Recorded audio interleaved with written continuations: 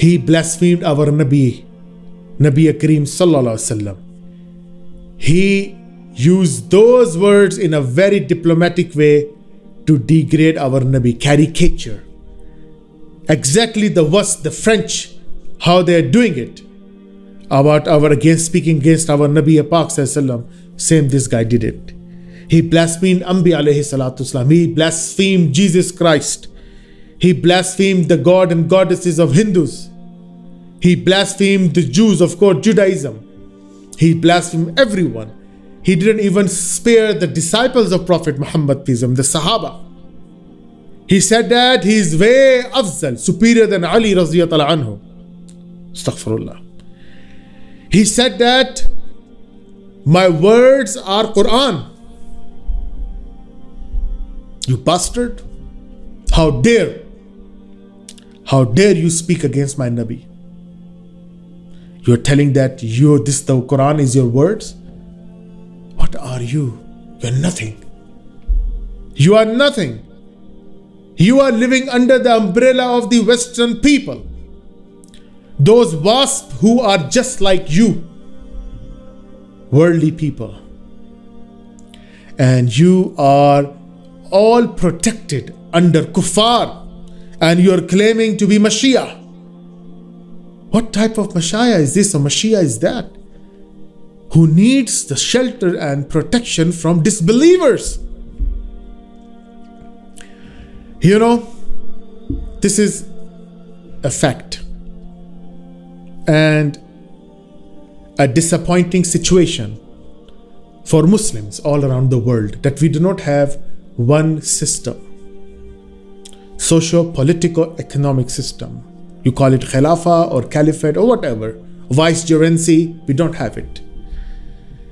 Had it been for the Muslims to have any kind of system as a collective power, these people wouldn't have been existing. You know that. These people won't be there I dare these people go Afghanistan and say something. At the time of Mirza Ghulam Ahmad, he just sent some letters, just pretending like a wannabe of Prophet, and he sent some letters. So the ruler that time he said that come here and tell us on our faces. Come here and tell us.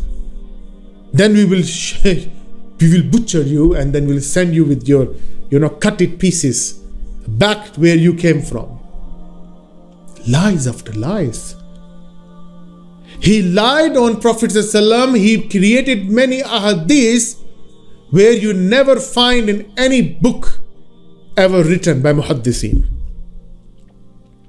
He quoted many hadiths which is totally a lie, fabrication against Prophet Muhammad. And Qadiani says it's okay.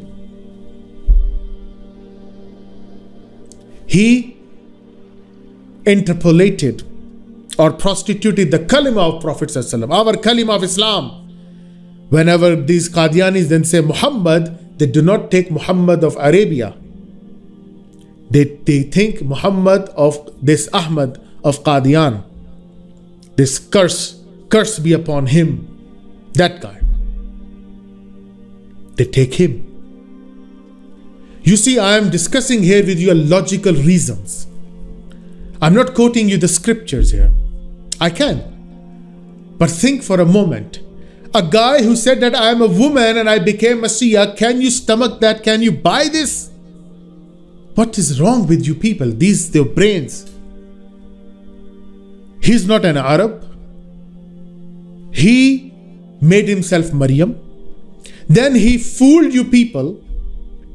And he's saying that Jesus Christ is dead. So once a person is dead, how come he's coming back again? So for this, he sugar-coated the matter and he said that, no, no, no, it is me who came. But okay, but if you came, then you told us that Jesus is dead. Then how you came? Because it is ordained for everyone to die once, then resurrection. So how come he came back again? Another lie. See? Oscillation, I told you, coming back and forth and reach where? Crossroads, no direction, nothing. Stuck over there and then fumble, tremble. Yes, that's it.